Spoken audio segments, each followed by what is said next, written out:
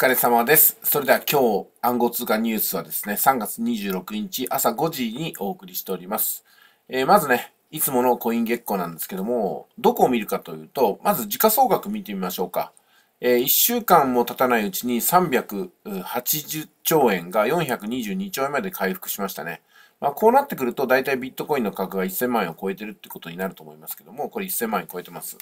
えービットコインっていうのは、あらゆる暗号通貨の中で、大体ね、えー、45%ぐらいを占めている時価総額になってるかなと。まあ、つまりビットコインがやっぱり暗号通貨の中の王様中の王様ということになると思います。で、イーサリアムがそれに続くんですけども、だいぶ規模は小さいですよね。えイーサリアムですらビットコインにはもう追いつけないってことになってますけども、時価総額が400兆円を超えたあたりで、イーサリアムはだいたい50万とかね、55万に近い金額だということです。で、あと同じぐらいの割合で XRP が100円弱と、カルダノが100円前後になってるってところも捉えていきたいですね。あくまでもこれ時価総額に比べて、どのぐらいの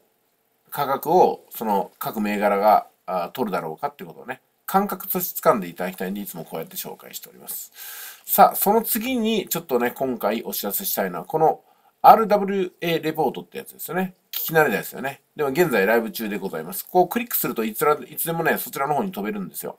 で、ここは結構重要な情報をね、あの出してくださってるんですけども、ほとんど見る方がいないっていうところなんで、えー何かしかのね、え情報価値を高めたい方っていうのは、ここをクリックして進むとよろしいかと思います。今回はこういきませんけどもね。えそれからコイン月光で扱うコインも13,511に増えました。これね、もう毎日増えてますね。それから、あー取引所、交換所の数も、今コイン月光の中では1028紹介できるってことになってますね。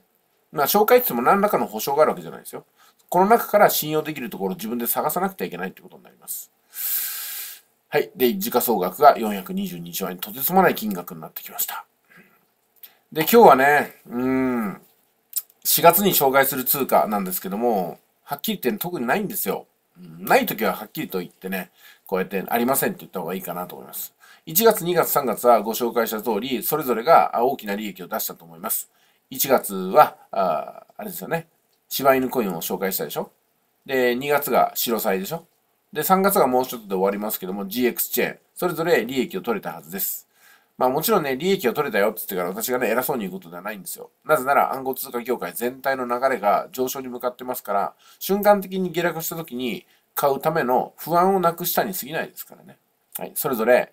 利益を出された方はおめでとうございますと。少なくとも損失を出した方はいないと思います。もちろん、含み損の時に決済したら、それはね、狼狽売りですよ。知らないですよ、それは。あの、もともと暗号通貨なんてね、数週間とか数日で見るもんじゃなくて、数ヶ月よりも数年単位で見るもんですから。で、4月にご案内するコインはちょっとね、今の時点では見つかりませんので、なしということにさせていただきますけども、じゃあね、えー今回、えーどういうふうにこのコイン月光の中から流れを知っていけばいいかってことの一つの講義になってきますけども、ここトレンドです。今話題になってるコインということで、ここを見てみましょう。もっと見るでやると、それがランキング形式に出てきます。今話題になってるコインっていうのは、こういうふうにね、アクセスが集まってるコインですよ。まあ、それをコイン月光独自のリサーチ方法で抽出作れたってことなんで、あのこのキャットコインっていうのはね、かなりこの価格を上げているなっていうのが見て取れます。で、価格を上げるばかりが注目されるコインではなくって、下落してるからこそ多くの方が不安でアクセスしてるっていうのもありますからね。まあでも、おおむね結構いいコインばっかりですかね。まあ、この中から自分の投資したコインを選びましょうっていうよりも、あ話題になってるコインと値上がりしてるコインと安定して利益を出してるコインっていうのはそれぞれあの暗号通貨の中でもジャンル分けされてるんだな、もしくはジャンル分けするもんだよねっていうふうに考えを整理していただきたいんですよ。で、今回ね、このランキング799位がトップに並んでますけども、トップにね。じゃあ、上位コインのソラナっていうランキング5位のコインがね、同じ話題のコインのランキングのトップ20に同居してるっていうところもね、なかなか面白いところじゃないかなと思います。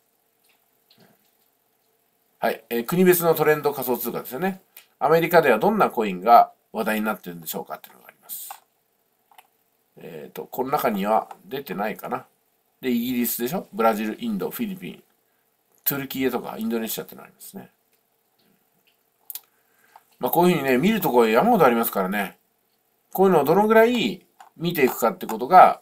暗号通貨の経験値を高めて知識を深める。まあ、そんな毎日のトレーニングになります。1日1個何かに気づいていければ、あっという間にあなたも暗号通貨のプロフェッショナルということになります。もちろん、利幅も取れるようになってきますよ。